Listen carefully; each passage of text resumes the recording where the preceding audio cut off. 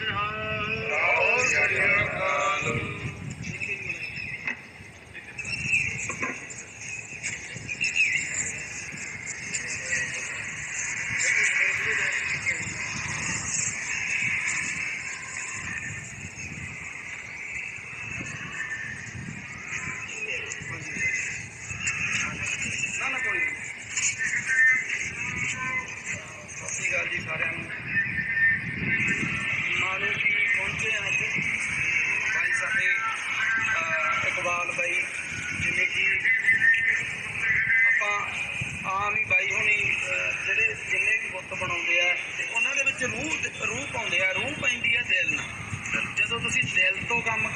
ਕੋਈ ਵੀ ਕੰਮ ਹੈ ਕਿਸੇ ਵੀ ਤਰ੍ਹਾਂ ਦਾ ਕੰਮ ਆ ਚਾਹੇ ਉਹ ਖੇਤੀ ਆ ਚਾਹੇ ਉਹ ਟਰੈਕਟਰ ਦਾ ਕੰਮ ਆ ਜਾਂ ਕੋਈ ਵੀ ਕੰਮ ਆ ਜਾਣੀ ਉਹ ਰੂਹ ਉਦੋਂ ਪੈਂਦੀ ਆ ਜਦੋਂ ਅਸੀਂ ਦਿਲ ਤੋਂ ਕੋਈ ਕੰਮ ਕਰਦੇ ਆ ਸੋ ਮੈਂ ਇਕਬਾਲ ਬਾਈ ਦਾ ਵੀਡੀਓ ਵੀ ਦੇਖਿਆ ਸੀ ਬਾਈ ਬਣਾ ਵੀ ਰਿਹਾ ਸੀ ਤੇ ਰੋ ਵੀ ਰਿਹਾ ਸੀ। ਹਾਂਜੀ।